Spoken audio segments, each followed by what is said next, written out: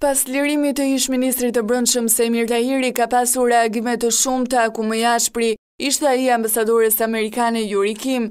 Kim e cilësoi zhgënjyes lirimin e tij dhe thotë se vendimi që u dha për Tahirin është mënyrë e vjetër e sistemit të drejtësisë që nuk ndëshkon dhe privilegjon disa persona. Sipas saj, SHBA e konsideron korrupsionin kërcënim serioz të sigurisë shqiptare dhe duhet të refuzohet nga Shqipëria.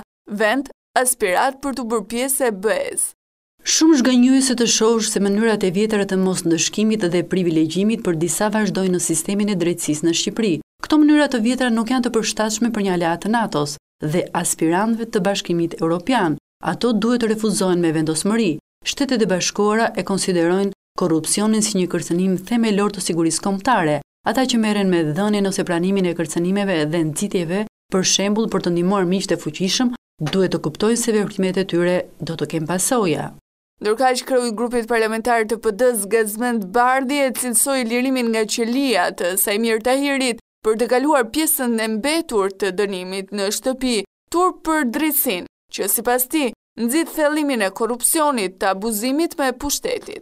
Ish-ministri i Brendshëm Saimir Tahiri do të mbahet mend si ministri kampion i Edi Ramës, që garantoi paprekshmërinë e grupeve kriminale. Thelloi bashkëpunimin e shtetit me to dhe si kurrë më parë, me leje shtetërore mbushi vendin me kanabis duke favorizuar fuqizimin e krimit të organizuar.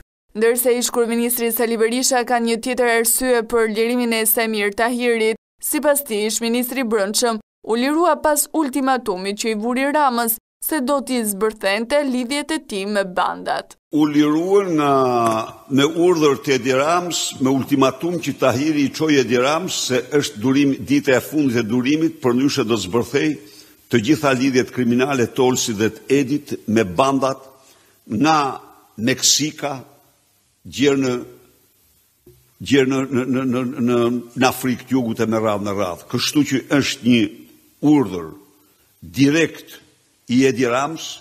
Për ish-kreun e Partisë Demokratike Lulzim Basha edhe një i dënuar që ishte në burg u la i lirë ndërsa çështja vazhdon në SPAK për shpërdorim detyre.